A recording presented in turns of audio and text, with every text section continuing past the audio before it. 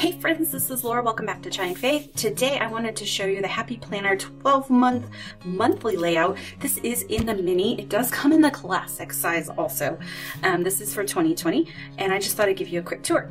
Um, I am considering using this for my cleaning routine, um, but I haven't quite decided yet. I do love that the color cover is beautiful on either side. Um, this says live every day like vacay. um, and it does have the gold, which I think is kind of pretty.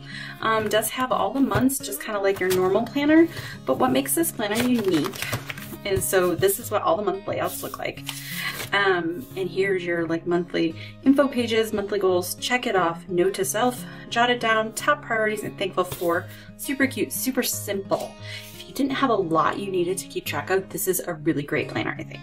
Um, what I love about this planner is that instead of your days or weeks, it has daily tasks. So there are 30 of these, um, and 31, I didn't count. Um, but uh, they, so there's one, two, three, four, five, six, six for each day. So like, you know, you could use this for school tasks or work tasks or life tasks or home tasks or um, what you spend in a day. I mean, there are like countless ways you could use this.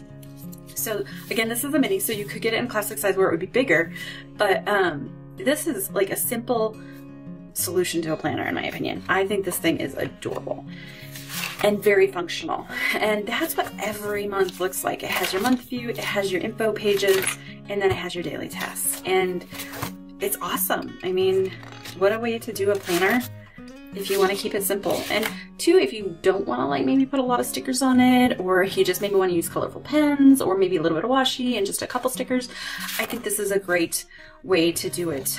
Um, you could also put like the day stickers so you knew first, second, third, fourth, like somewhere in here, like the little ones, um, if that would help you, or you could even write it. Um, and then the last thing at the end of each month, um, it does have some notes pages, which I think is pretty sweet. And then it has the next month. So that's how they all look. Oh, it does have a habit tracker. I forgot about that. Um, that's kind of cool. Yeah, forgot to show you that. Um, so for each month, it also has the important dates, get it done, and notes at the beginning of each month. Um, that's what it looks like though, guys. What do you guys think of this? Do you think you would use this type of layout? It's something super simple. Like I think it's one of the most simple um, planners, if you will, that I've seen, but I kind of like it. I kind of dig it. So yeah, I'd love to know what you think of it. And they also, of course, have cute um, tabs for each month. Um, but yeah, let me know what you're using or if you're thinking about using this in the description or in the comments below. Um, I'd be curious what what people are using it for and how they're using it. There's so many ways. Um, yeah, so I hope you enjoyed this little tour of the Happy Planner month. Uh, monthly layout for 2020 I'm super excited about it, super excited to be using it and I will show you in the future what I'm using it for and how I'm using it too. So um, give this video a thumbs up if you liked it and if you would be sure to hit that red subscribe button and we will see you again soon. Have a blessed day.